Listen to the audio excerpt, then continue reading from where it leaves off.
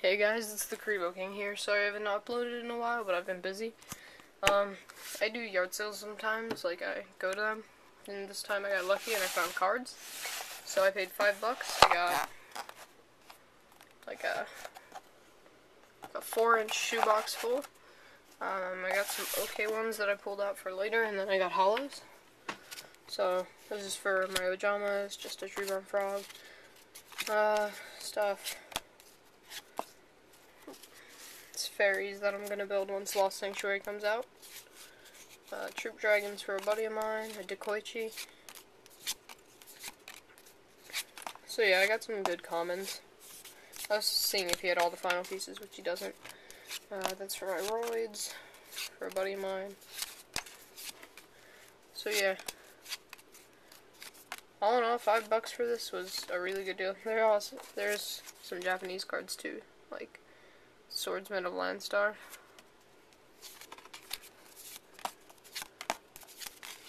Uh, UFO turtles. Roids. Royal Tribute, Radiance, and Dark World. Alright, so I'll go on to the hollows. Uh, so I got them in like a box, and it was in this little case, and these were all hollows. So, let's see. That much, but still. So, for $5, I think it was a good deal. Exod, there's a lot of the Sphinxes.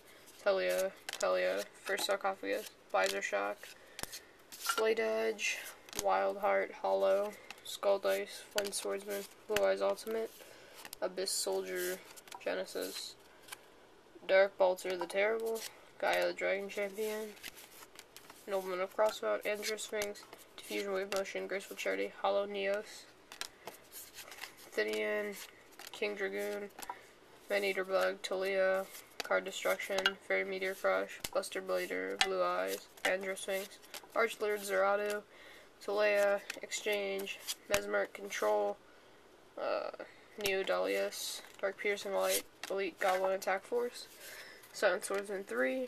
Now I actually have all of them again because I sold my set. Uh, Water Dragon, Superconductor Tyranno, Bird of Divinity, Behemoth King, that's for my beast deck, or Ojamas actually.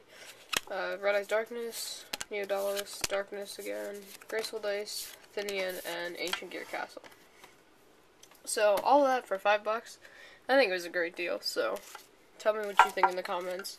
Alright, see you later, guys. This is the Kuriboh King signing out.